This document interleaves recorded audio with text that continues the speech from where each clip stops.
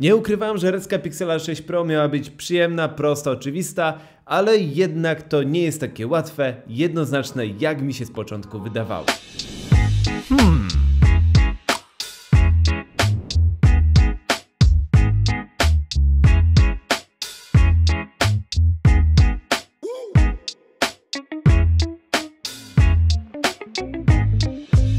Poprzednie generacje Pixeli były spoko, zresztą sam rozważałem je jako daily, ale były to też smartfony z kompromisami, które aspirowały do flagowej półki ze średnimi komponentami, czego o Pixelu 6 Pro, przynajmniej na papierku, powiedzieć już nie można.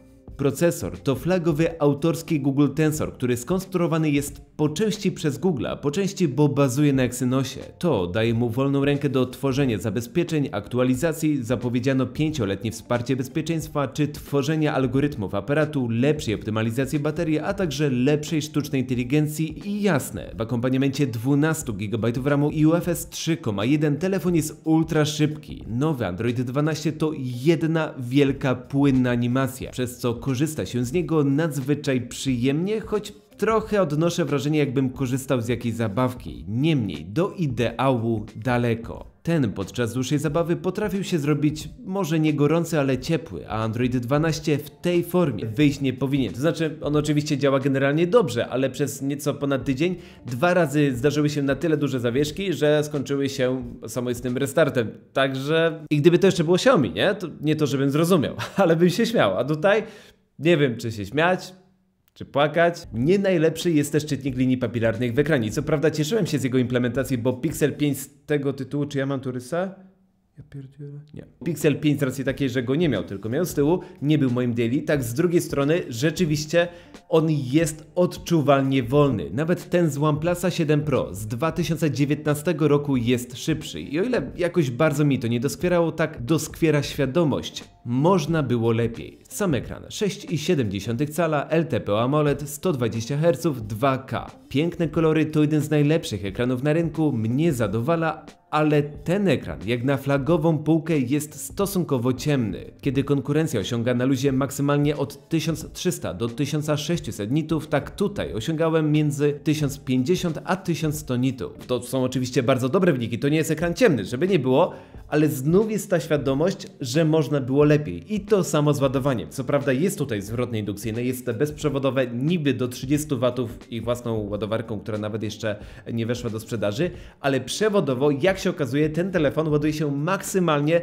23 W. No bez jaj. Mamy prawie 2022 rok, a telefon e, na Androidzie ładuje się jakieś 2 godziny. Sama bateria na szczęście spokojnie wytrzymywała mi na LT 4,5-5 godzin. Jakościowo nie mam się do czego przyczepić. Wykonanie jest perfekcyjne, jest IP68 i Google jak zawsze nie zawodzi kolorystyką, bo nawet ten niby czarny jest fantastyczny. W zasadzie to nie czarny, a taki głęboko myszowy. Piękny kolor. Są też rewelacyjne haptyczne wibracje, znakomite, bo ciepłe i głębokie w brzmieniu głośniki stereo, bardzo dobry mikrofon na Messengerze, jeden z najlepszych, przyjemne dźwięki powiadomień, pełna paleta narzędzi telekomunikacyjnych, choć 5G, VoLT czy Wi-Fi na chwilę obecną w Polsce działać nie będzie i to trzeba mieć koniecznie na uwadze. Niemniej, trzeba przyznać, że piksele poszły znacząco do przodu również pod względem aparatów, bo abstrahując od tego, jak zawsze ich aparaty były wychwalane, tak w mojej opinii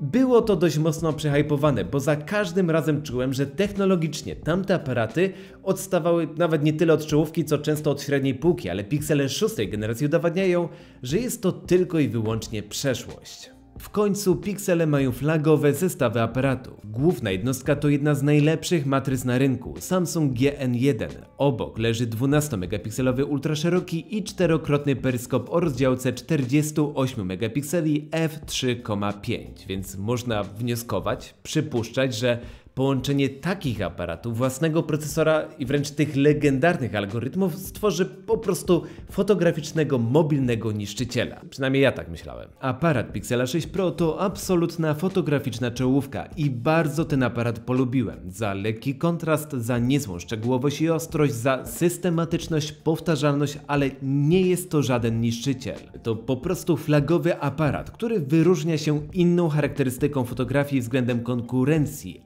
Ale ponownie szokuje mnie Vivo. Na tej samej matrycy robi rewelacyjne i jeszcze bardziej wyważone zdjęcia i coraz bliżej mi opinii, że to właśnie on jest najlepszym fotograficznym smartfonem. Oferuje zarówno jeszcze więcej szczegółów i ostrości, jak i mniej szumów, czy przede wszystkim dużo mniejszy problem z flarami. Szeroki kąt również jest lepszy.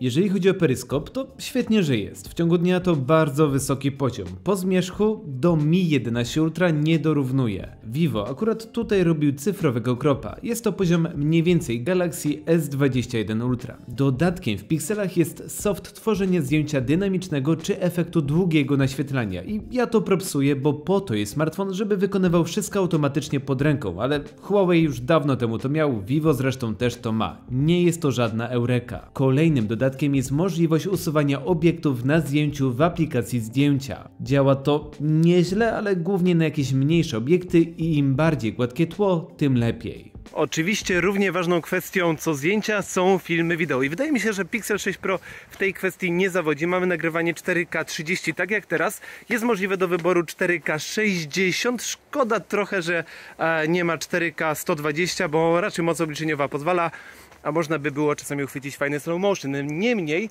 Google chwali się, że nowa generacja nagrywa zauważalnie lepiej wideo niż poprzednia, gdzie wydaje mi się, że już poprzednia była jedną z najlepszych, ale nie najlepsze w świecie Androida, ale to co mi zaimponowało w nowej generacji to przechodzenie pomiędzy obiektywami, bo nie dość, że można, to jeszcze jest ono stosunkowo płynne. Oczywiście czasami widać gdzie szerpanie, można jeszcze dwukrotnie cyfrowo zoomować i przejść na peryskop. I tutaj po chwili widać przejście na inny obiektyw. Jest to zauważalne, bo jednak no, jest peryskop na berce daleko oddalony, ale niemniej jak na smartfony wygląda to nieźle. Może jeszcze z jakąś tam aktualizacją to e, trochę ulepszą i będzie prima sorcik. Przebiegnę się chwilę, żebyście zobaczyli jak stabilizacja działa optyczna plus elektroniczna. Przejdę jeszcze na ultra szeroki i z powrotem na główną matrycę są do wyboru różne stabilizacje, ale one jakby mają bardziej nie chcę powiedzieć profesjonalne zastosowanie, tylko e, poddane cele. Do normalnego użytku raczej nikt z tego nie będzie korzystać. Szkoda, że nie ma słońca, żebyście mogli zobaczyć bardziej dynamikę podczas nagrania, no ale generalnie tak prezentuje się nagranie z Pixela 6 Pro. Sumarycznie na ten aparat narzekać nie mogę, bo jestem z niego w pełni zadowolony i usatysfakcjonowany, ale Problemem są oczekiwania, bo na przykład od takiego Vivox 70 Pro Plus poprzedniego odcinka nie oczekiwałem niczego, a mówiąc kolokwialnie, jego aparat wypluwa mi dokokszone fotografie. Tak tutaj, od tego aparatu oczekiwałem czegoś więcej, chyba tak naprawdę czegoś ponad standard, co oferowała dotychczasowa konkurencja. Otrzymałem po prostu bardzo dobry flagowy aparat. I ta sama sytuacja tyczy się całokształtu tego smartfona. Nie ukrywam, że moje oczekiwanie na niego sięgało zenitu, bo z góry założyłem, że będzie to w końcu moje nowe daily, ale nie jestem jakoś w 100% przekonany i nie wiem do końca z czego to wynika. Z jednej strony bardzo przyjemnie mi się z niego korzystało i bardzo go polubiłem. Nad wyraz podoba mi się jego wizualne oderwanie od konkurencyjnych schematów przy jednoczesnym zachowaniu klasy. Chcę go. Z drugiej strony, a to wolny czytnik, a to niespełnienie do końca oczekiwań aparatu, a to bugi w systemie, a to w naszych realiach brak działających pewnych standardów telekomunikacyjnych. Trochę przykro, że nie jest to telefon kompaktowy jak poprzednie Pixele. Z trzeciej strony, jak patrzę na konkurencję w tym przedziale około 4000 zł, bo tyle ten telefon kosztuje w oficjalnej dystrybucji, której w Polsce niestety nie ma, jest gdzieś tam na zachodzie, to wciąż wybrałbym Pixela, ale nie, że ma jakieś atrybuty techniczne, które przeważają nad konkurencją, nie, jest to ten sam poziom,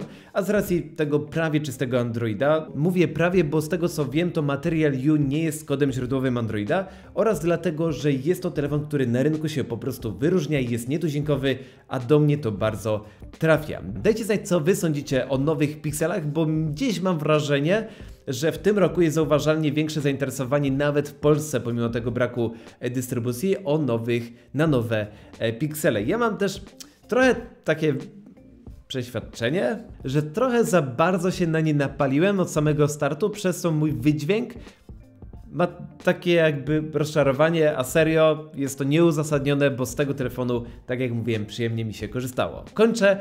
Dziękuję za oglądanie serdecznie. Jak zawsze zróbkę dla Was jak najwięcej to, co najważniejsze globalnie. MPS Grubsona. Raz jeszcze dziękuję. Do następnego razu. Cześć. A to, czy zostanie moim daily, to się jeszcze okaże.